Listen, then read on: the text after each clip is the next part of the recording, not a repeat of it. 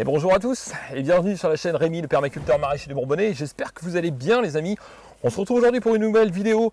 Alors vous pouvez voir ici, je suis dans ma grande serre, vous pouvez le voir. Je suis en train de transférer tout simplement voilà, des plants. Euh, là c'est de la salade tout simplement.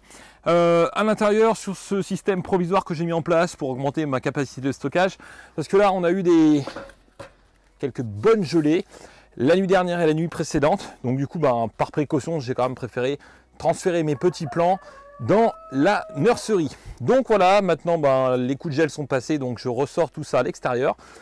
Et aujourd'hui, on va se retrouver bien pour une nouvelle vidéo. Je vais vous montrer bien tout simplement un peu euh, mon quotidien, enfin du moins une partie de mon quotidien de la ferme. Donc voilà, bah ça, ça fait partie euh, d'un des travaux euh, récurrents du maraîcher, de devoir transférer tout simplement des, des plans d'un point A à un point B.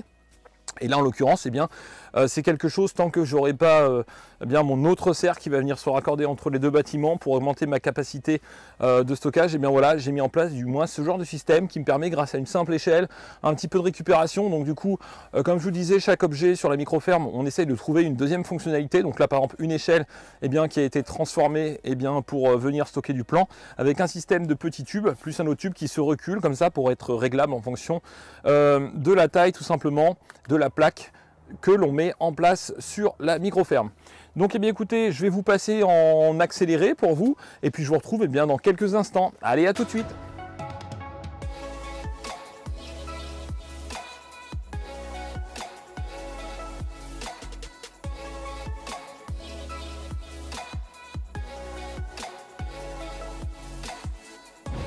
Voilà les amis, ben écoutez, je viens de transférer euh, tous ces plants. Donc là, ce que vous voyez, ben, c'est de la salade, différentes variétés, etc.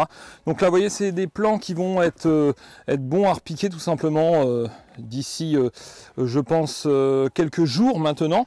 Voilà, donc je vous montre un petit peu à quoi il ressemble. Voilà concrètement, eh bien un petit plan. Voilà, j'espère que, le focus se fait bien. Donc voilà, un petit plan, vous voyez, tout simplement, et eh bien là, de salade. Et donc il faut savoir que euh, eh bien là actuellement voilà euh, vous avez environ presque 3000 plants là sous vos yeux. Euh, voilà, plus il y en a encore une autre partie qui est dans la nurserie. Donc en tout cas, bah voilà, ça c'est un des travaux récurrents de la microferme, c'est-à-dire voilà, de faire attention bah, quand on a des gelées, etc. Donc là, ça a été, comme vous avez pu le voir, eh un petit peu de manipulation. Le fait pour moi de devoir transférer, bon, même si logiquement la salade ça craint pas grand-chose, mais quand même par précaution, vu que c'est en alvéole, j'ai préféré ben, prendre quelques précautions. Euh, donc voilà, alors euh, pourquoi j'ai pas mis tout simplement un P17 dessus et que j'aurais laissé l'intérieur de la serre parce que euh, malheureusement j'ai eu une expérience et là ça fait partie aussi des, des expériences de la microferme, c'est-à-dire que j'avais mis 150 pieds de tomates dans cette grande serre. Et malheureusement voilà ben, elles ont gelé tout simplement. Euh, donc euh, voilà les températures ici bien quand même il y a une variation qui se fait qui est assez importante. Et bien ça c'était une des erreurs à retenir en tout cas pour moi cette année. Euh, la grande serre même s'il est très grande qu'elle a une certaine inertie. Quand on a des températures qui descendent trop basses et eh bien ça ne suffit pas. Alors que là la petite serre où tout est concentré dedans où j'ai mes poules qui sont à l'intérieur là c'est efficace et j'ai pas eu de gel. Et toutes mes plantes sont vraiment protégées grâce à ma petite serre à ma nurserie. Alors qu'ici bon j'ai perdu 150 pieds de tomates. Donc pour moi, 150 pieds de tomates, c'est quand même assez ennuyeux. Euh, heureusement pour moi, c'était des plants qui étaient en alvéole, qui n'avaient pas été repiqués. Euh, voilà, donc il y avait une partie par contre qui avait été repiquée quand même, euh, quelques-uns, mais ça représentait une minorité. Donc c'était pas trop de boulot non plus.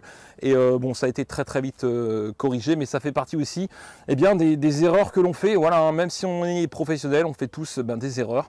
Et ça, ça en fait partie. Donc je voulais aussi vous dire que prochainement, vous aurez ben, comme ça des vidéos un petit peu où je vous parlerai bien des, expériences, voilà, des, des échecs qu'il y a eu sur la micro-ferme, des différentes erreurs que j'ai faites, euh, voilà, mais aussi des réussites et puis des inventions qui ont été mises en place sur la micro-ferme. Quand je dis invention, c'est souvent des bricolages, euh, de la transformation de certains objets, comme là par exemple, eh bien, vous en avez une sous vos yeux, c'est tout simplement cette échelle qui a été transformée voilà, pour euh, accueillir eh bien, ces plaques de semis suspendues dans la serre à une certaine hauteur, ce qui euh, justement ben, permet voilà, d'avoir une température à peu près euh, constante et aussi bien vu que le système d'irrigation est juste au-dessus, bien de pouvoir arroser les plaques sans aucun euh, souci.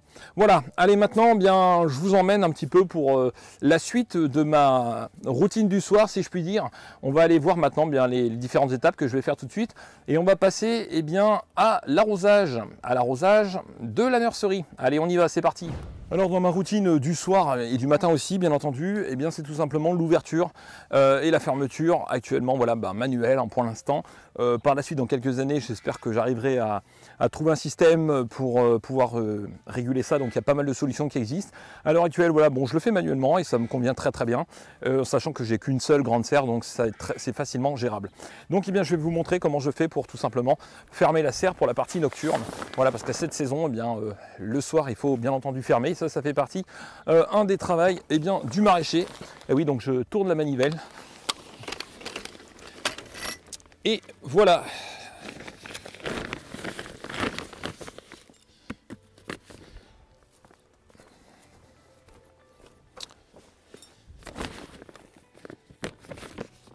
Voilà, donc là, eh bien, euh, la serre est fermée pour la partie nocturne. Il me reste encore euh, la porte à l'opposé à les fermer. Et euh, ensuite, eh bien, ça sera fait.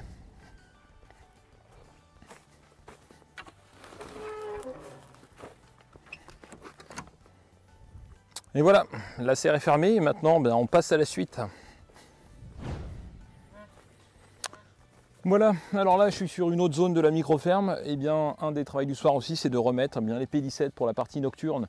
Voilà, donc là bien je vais remettre en place, et eh bien comme vous pouvez voir, euh, le tunnel plastique qui se trouve derrière donc euh, pour euh, les Apia. Et ensuite juste derrière moi là vous avez une planche mesclin radis. Et juste devant moi là vous avez ici de la laitue rouge grenobloise. Donc eh bien je vais mettre le plastique pour les Apia et puis remettre le P17 sur l'ensemble. Et donc voilà, on va mettre tout ça en place. Et bien ça se passe maintenant je vous passe en accéléré.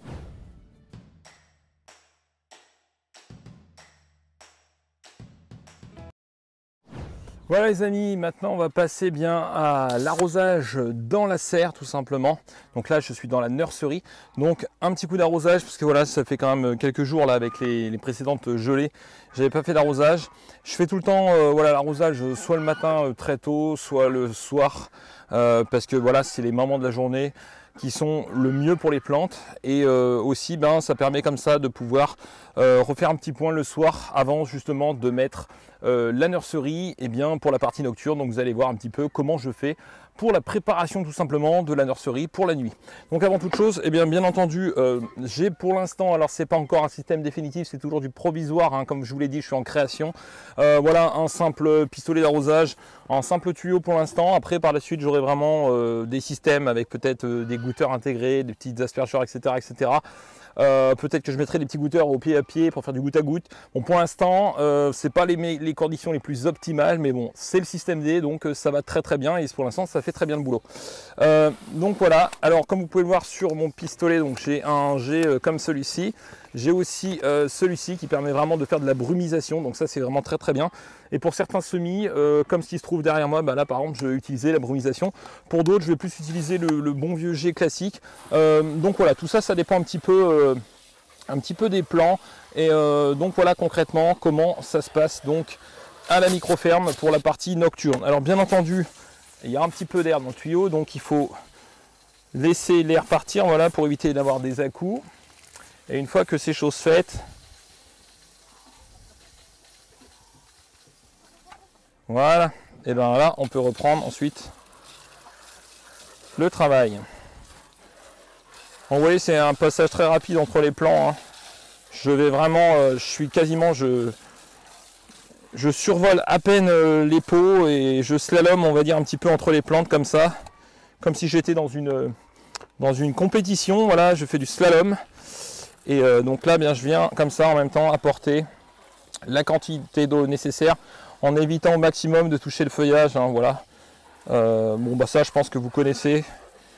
Et alors, vous allez me dire, ouais, mais du coup, l'eau que tu mets, elle va où et tout? Alors, comme vous pouvez voir, j'ai mis tout simplement euh, des bâches plastiques dessous là. Donc, ça, c'est tout simplement, vous connaissez, hein, bâche d'ensilage, voilà, euh, bâche d'ensilage dessous, ce qui permet comme ça d'avoir euh, une espèce de petite réserve euh, à peu près au centre, il y a un petit peu d'eau qui vient s'accumuler, mais qui est très vite absorbée par le reste des plantes, voilà.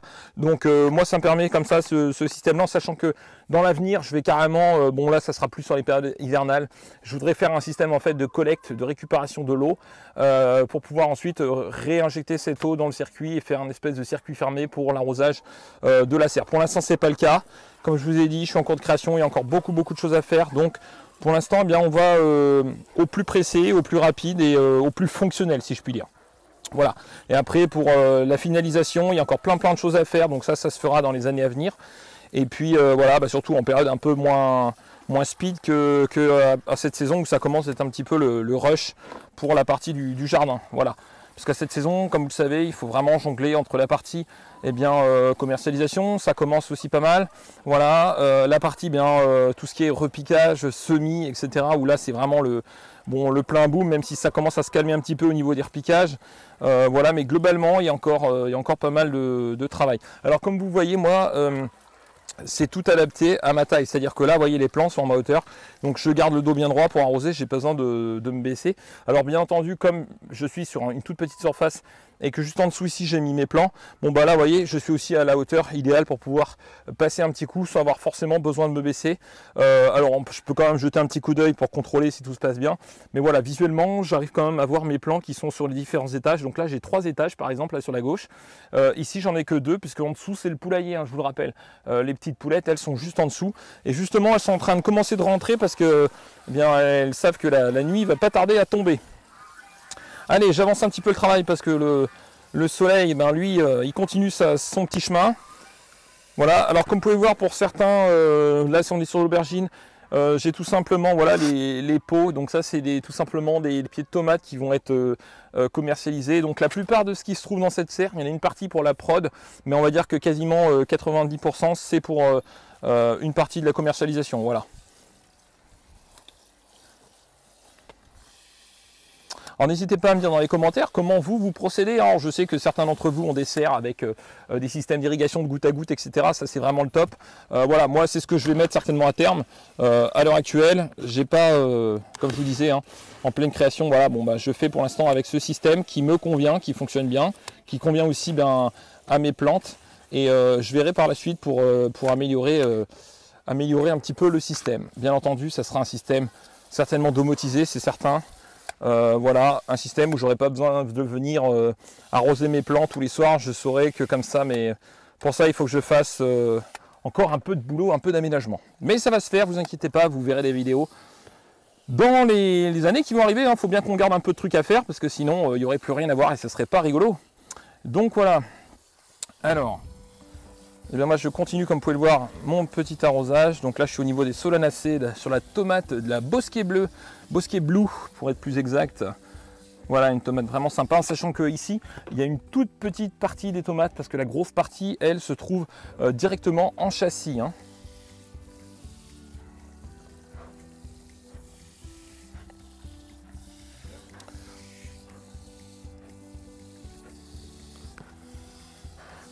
Alors moi je trouve que c'est un moment agréable, hein. c'est pas franchement euh, quelque chose de très euh, difficile si je puis dire, ou même euh, chiant pour certaines personnes qui pourraient le dire.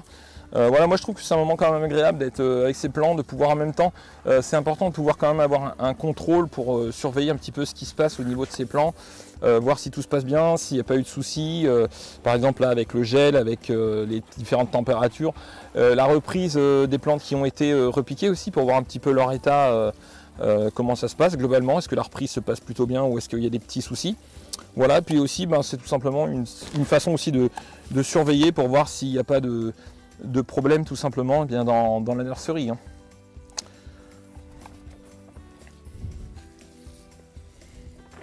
Voilà, donc là, ben, vous ne voyez pas, mais juste en dessous, ben, là, il y, a, pas mal de plants. Voilà, parce que vraiment la nurserie est remplie. Hein. Euh, il y a encore un petit peu de place, mais ça commence d'être vraiment bien rempli. Donc là, vous voyez, je suis sur le deuxième étage. Donc là, hop, moi je fais juste un petit contrôle rapide visuel. Mais visiblement tout se passe bien.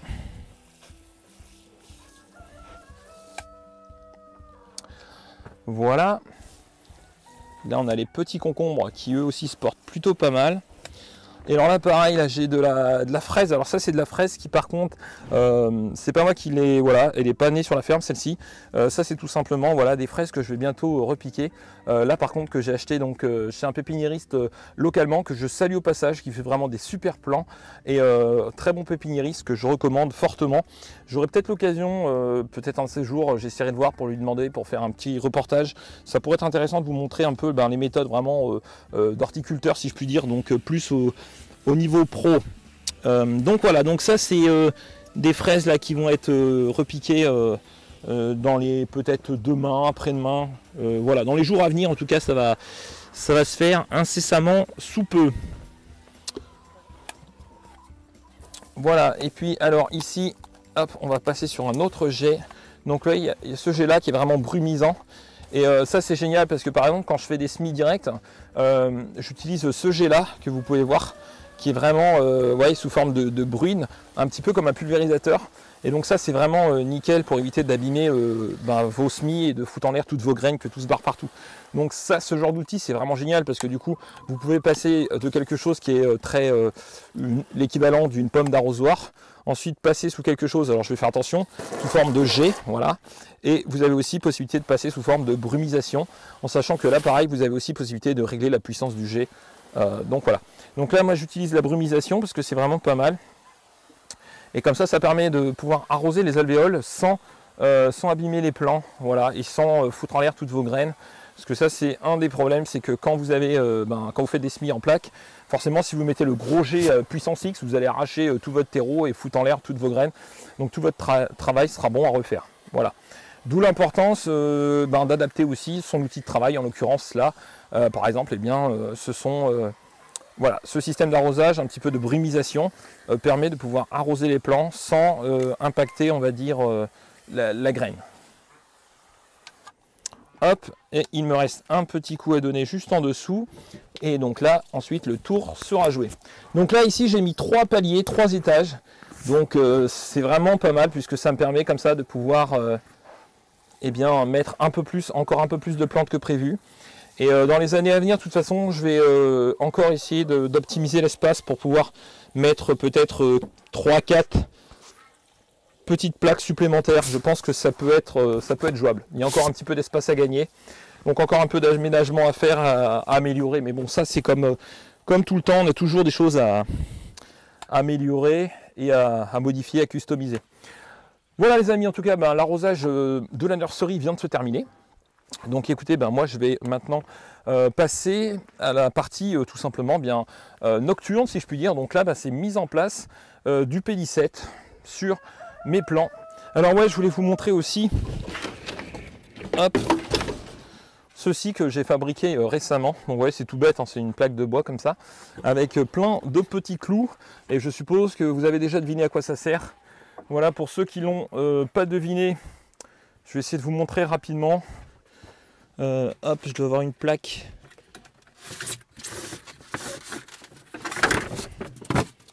Hop, voilà donc euh, une plaque d'alvéole. Et bien entendu, vous avez deviné. Comme ça, donc je prends ma plaque, je viens mettre dans les trous euh, qui correspondent. Et ensuite, eh bien, voilà, tout vient s'emboîter. Vous voyez, et les clous font ressortir mes plans. Ce qui permet comme ça de pouvoir démoter plus facilement. C'est l'équivalent euh, voilà, du, truc classique pour pouvoir démoter. donc voilà, ça c'est un truc que j'ai fabriqué et euh, qui est plutôt pas mal et qui me permet de, bah, de gagner un temps précieux. Bon par contre c'est un peu de boulot parce qu'il y a 285 vis à mettre en place. Donc voilà. Hop, donc voilà, allez je passe la serre maintenant pour la partie nocturne. Donc ça ça fait partie aussi de la routine. Euh, bah, la routine un petit peu quotidienne, hein, cette période de l'année. Donc voilà. Alors vous voyez que j'ai fait des systèmes très simples. Hein des petits arceaux, hop, je viens, je positionne mon voile dessus, donc vous voyez c'est très rapide, ça prend pas longtemps et ça marche très très bien. Donc hop, voilà. Alors tac tac, voilà, c'est parfait. Alors là, on en fait tomber un peu sur le côté, voilà pour que ça protège bien. Et voilà, alors là bah, tout, est, tout est protégé, tout est ok pour la partie nocturne. Donc juste en dessous ici, euh, il y a les petites poulettes hein, que vous avez pu... Ben voilà, juste en dessous il y a le poulailler, donc elles jouent leur rôle un petit peu de chauffage. Et puis donc voilà le petit pédicette qui lui fait aussi son travail. Donc même s'ils n'annoncent pas de gelée, par précaution on le met toujours, ça prend pas beaucoup de temps et c'est bien pratique. Allez on continue. Alors vous pouvez observer juste ici, là, au bout de mon doigt. Je sais pas si vous voyez bien. Voilà, au bout de mon doigt ici, dans l'arbre qui est en face, là, vous pouvez voir eh bien, une palombe. Et je vais vous montrer aussi bien qu'à la micro-ferme, voilà, il y a aussi des, soucis rencontrés. Et donc là, je vous montre ça tout de suite. Voilà, alors à la microferme, eh bien, je voulais aussi partager avec vous ben, les, problèmes que je rencontre tout au, cours de ma vie de maraîcher. Et là, vous avez une des problématiques qui est devant moi. Voilà, alors comme je vous l'avais montré dans ma vidéo précédente sur le, repiquage des petits pois, pourquoi je faisais euh, les petits pois dans ma serre, dans la nurserie, et ensuite que j'allais les repiquer directement quand ils ont atteint une certaine hauteur parce que ici voilà j'ai testé cette année, j'ai retesté on va dire un semi direct et donc là devant moi ben, vous aviez euh, il y a eu euh, un certain nombre de planches qui a été semées donc en semi direct tout simplement. Et ici eh bien vous pouvez observer voilà juste devant moi euh, différentes traces. Donc là ces traces là ces, ces grattages en fait c'est ben, les petits pois qui ont été mangés tout simplement par la palombe que vous avez pu voir tout à l'heure qui est dans l'arbre. Euh, donc voilà, ça c'est des dégâts que j'ai constatés depuis de nombreuses années. Alors vous avez beau mettre euh, des épouvantails, des disques, etc. Euh, le problème est récurrent, ça revient tous les ans. Et de toute façon, cette période de l'année, ben, les palombes, elles, elles ont besoin de nourriture parce qu'elles ont leurs petits. Et donc forcément, ben, les petits pois, c'est vraiment l'idéal. Donc j'avais aussi testé le fait de leur mettre de la nourriture à disposition, euh, de, mettre en place des, disques voilà, pour leur faire un petit peu peur.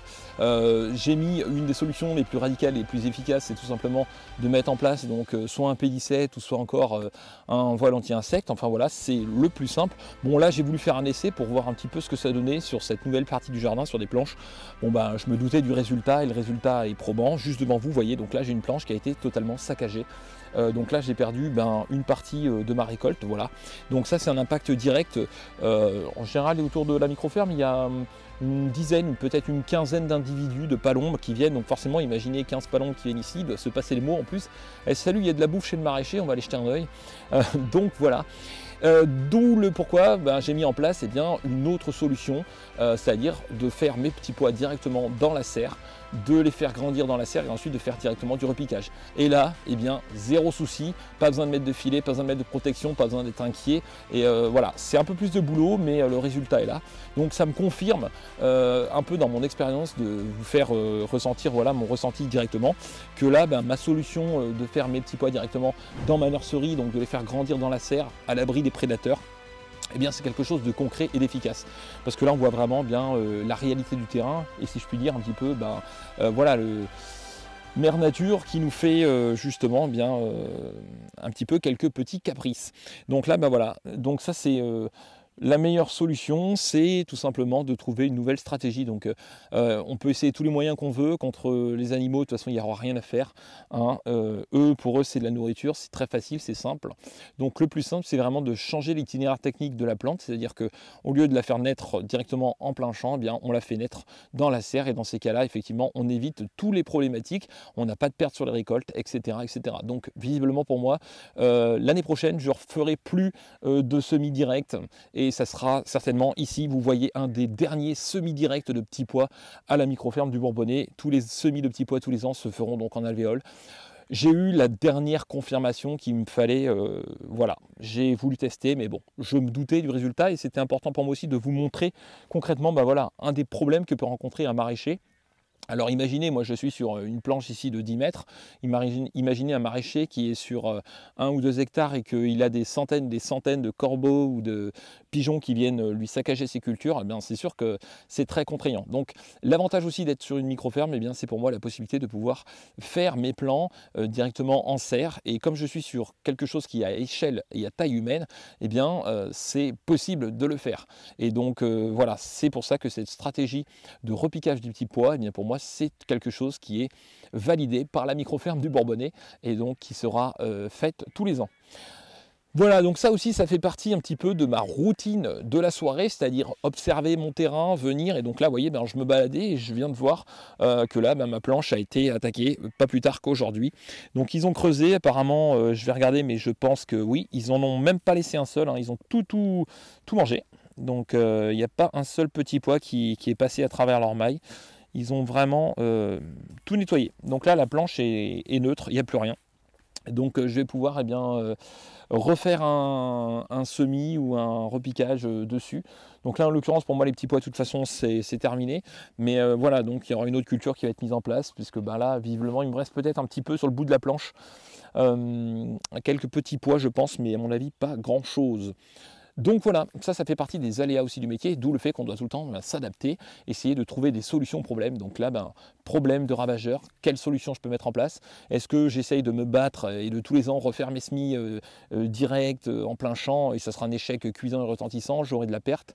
Non, parce que ça va vous engendrer des investissements, du stress. en plus de ça, ben, vous allez être dégoûté parce que vous aurez passé X temps à faire votre semis et du coup, va tout falloir recommencer.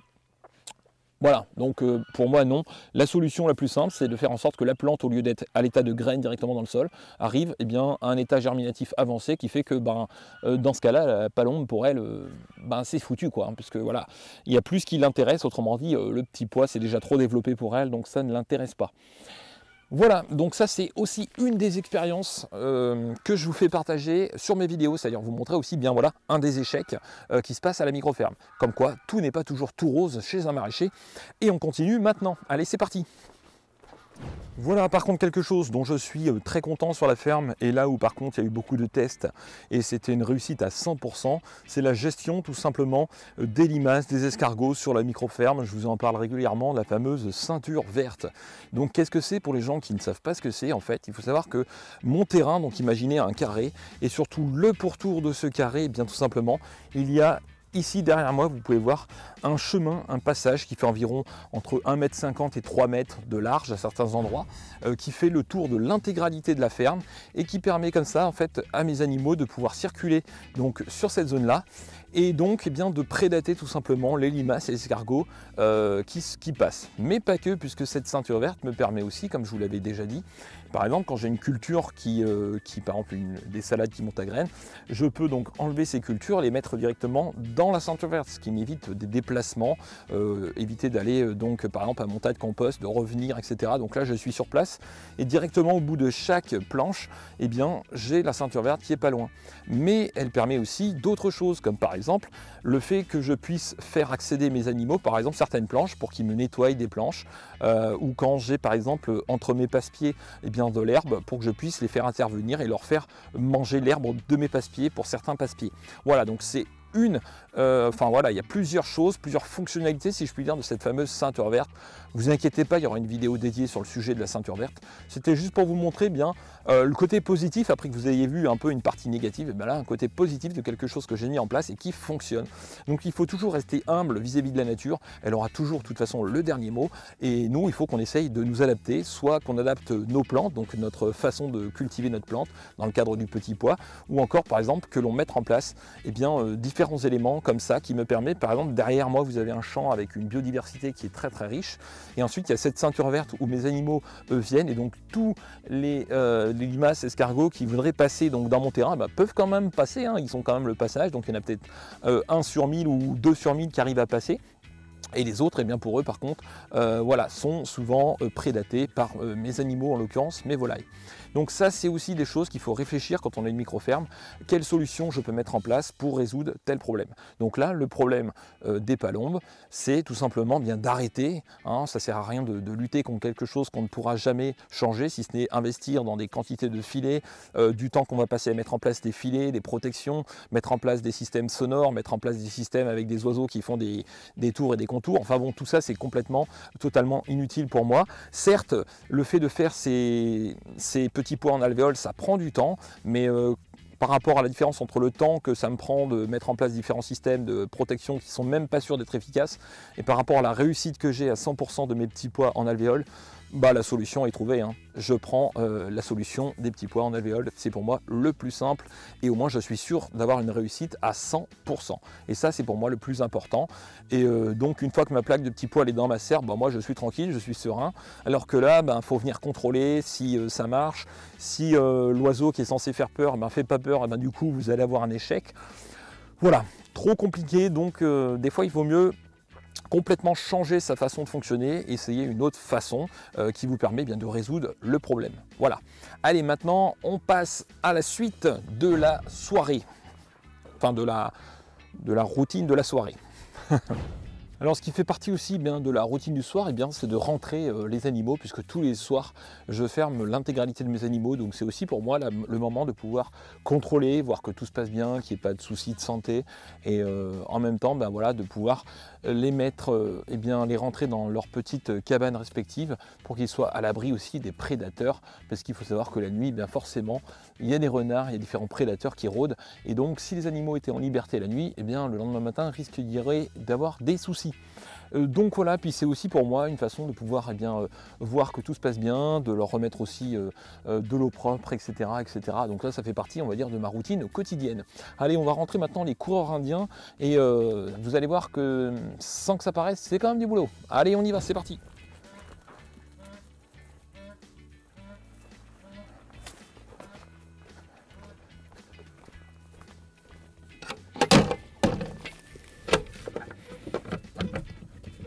Voilà, alors là vous pouvez voir derrière moi eh bien euh, un système euh, d'irrigation que j'ai mis en place provisoirement.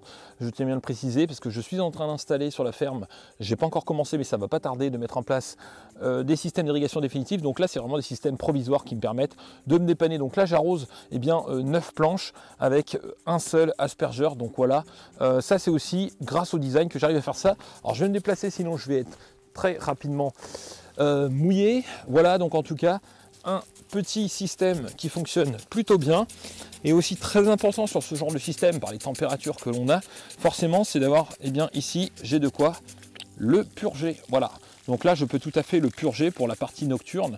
Donc ça permet et eh bien euh, comme ça de pouvoir être euh, tranquille et surtout de prendre soin du matériel parce que c'est quand même du matériel qui a un coût. Euh, donc pensez au système de purge, voilà, pour euh, le soir quand vous avez terminé, hop, vous ouvrez comme ça, ça vient tout simplement purger l'intégralité de votre conduite et vous êtes tranquille. Euh, donc voilà, système provisoire, vous aurez bien entendu des vidéos sur le système définitif qui lui sera un système vraiment complet. Pour l'instant, c'est un petit peu, comme je vous disais, lors d'une création, on fait un petit peu avec les moyens du bord. Et grâce à la standardisation de mes planches, et eh bien là, j'arrose 9 planches de culture avec un seul G. Allez, on continue. Alors aussi dans la routine du soir, important, eh bien je, ferme, je vidange tous les systèmes comme ça d'irrigation, tous les systèmes d'arrosage et je ferme aussi bien euh, au niveau de la pompe je vidange les robinets chaque soir et je les rouvre chaque matin. Voilà. Euh, ça, ça sera quelque chose que je ferai euh, bah, tous les ans. Mais euh, voilà, après, je vais mettre en place des systèmes qui m'éviteront ce genre de manipulation récurrente. Donc pour l'instant, bah, c'est ce que je fais. Voilà, ça fait partie un petit peu de ma routine du soir, mais ça sera que pour cette année et heureusement parce que c'est quand même pas mal de boulot. Allez, on continue. Et voilà les amis, j'espère que vous avez cette vidéo. Derrière moi, vous pouvez voir eh les cerisiers qui sont en fleurs. Malheureusement, il y a eu un petit peu de gel, mais bon, pas trop de dégâts pour l'instant. Les pommiers aussi qui sont en fleurs. Alors une chose importante au niveau de la routine, eh bien, c'est de ranger les différents euh, instruments voilà, qui craignent un petit peu le gel, comme ce genre de pistolet. Voilà, donc important aussi quand vous avez euh, une micro-ferme comme ça, eh bien, de faire un petit peu euh, en cette période de l'année, voilà, vidanger vos tuyaux, etc. Donc vous avez vu qu'une petite partie, bien entendu, je ne vous ai pas montré l'intégralité hein, de tout ce que je fais le soir, parce qu'il y a beaucoup, beaucoup d'autres choses. Mais c'était voilà, pour vous montrer un peu les grandes lignes. Vous aurez comme ça d'autres vidéos un petit peu sous forme de vlog où je vous montre euh, un petit peu ce que je fais. Et puis écoutez, ben, on se retrouve très bientôt pour de nouvelles vidéos. Surtout n'oubliez pas que vous êtes formidables. Et puis moi je vous dis à très bientôt pour de nouveaux podcasts, de nouveaux lives et de nouvelles vidéos. Sur ce, ciao ciao, à bientôt.